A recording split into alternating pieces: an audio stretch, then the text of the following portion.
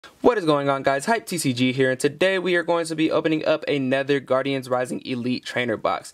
Now today's video is going to be rather quick because I'm just going to be opening up the booster packs out of this box. I've already done a video on this channel where I opened up this Guardians Rising Elite Trainer box and I showed all the contents and stuff like that. So if you guys want to check that out, I will make sure to leave a link in the description below so you can go ahead and do that. And I actually did pull a very rare card out of that box so you'll definitely want to check that video out. But before we get into this box, make sure to smash that thumbs up button because you already know we need some good luck out of this box right here. We need some Tapu Lele action, something good out of this box. So make sure to smash that thumbs up button because every thumbs up equals good luck. And make sure to subscribe to the channel if you have not already. And make sure to hit that bell so you can join the notification squad because you guys don't want to miss any videos on this channel. And without further ado, let's go ahead and open this thing up.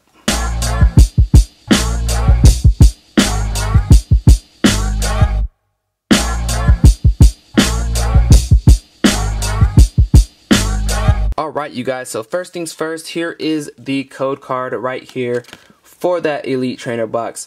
There you guys go, and we have our 8 booster packs right here. Let me actually fix these things up really quickly. So there we go, we have our 8 booster packs right here for Guardians Rising. And let's go ahead and get things going, starting with a Kommo-o pack right here. Here goes a code for you guys right there. Alright, let's see what we can get out of the first pack. We have a Taillow, a Jangmo, a Delibird, a Trubbish, a Machop, a Psychic Energy, a Sableye, an Energy Lotto, we have a Sliggoo, we have a Wailord reverse hollow rare right there. So we'll put that in the back. And we have a Turtonator GX to start things off. There we go, you guys. Let me go ahead and sleeve this thing that is a great start to this box right here. We have a Turtonator GX. We'll put that in the back really quick. So starting things off pretty strong, we have a Alolan Ninetales pack right here for the second pack. We'll take that strong start, you guys. Definitely will take that. So here we go. We have a Rockruff, a Beldum, a Wailmer, a Goomy, Wimpod, Dark Energy, a Mallow, Altar of the Moon, a Weepinbell, we have a Reverse Hollow Energy Lotto, and we have a Garbodor non-hollow rare right there. So two packs down, six to go. We have another Kommo-o pack for our third pack. Alright, so here we go. We have a Patrat, an Alolan Geodude, Gligar, Bellsprout, a Cottonee, a Fairy Energy, a Sableye, an Energy Lotto, Sliggoo, a Pangoro Reverse Hollow Rare right there, and we have a Got got the Tail non-hollow rare right there. So we did get a uh, reverse hollow rare right there, so I'll definitely take that. Moving on to our fourth pack right here. And four and two. We have a Petilil, a Fletchling, Alolan Geodude, Barboach, Rockruff, Fighting Energy, a Brooklet Hill, Beware.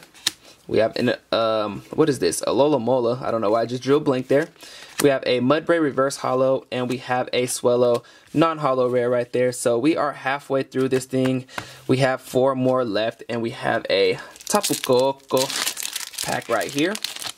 Here goes a code for you guys. And if you guys are interested in getting more code cards. I definitely give them out on my Instagram. So if you guys follow me on Instagram, you'll definitely see more code cards for your online TCG game.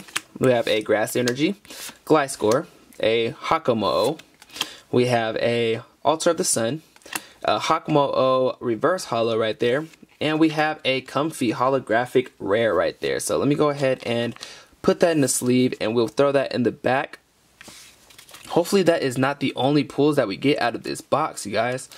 Hopefully we can get a ultra rare or better out of this box, or one more I should say. Here we go.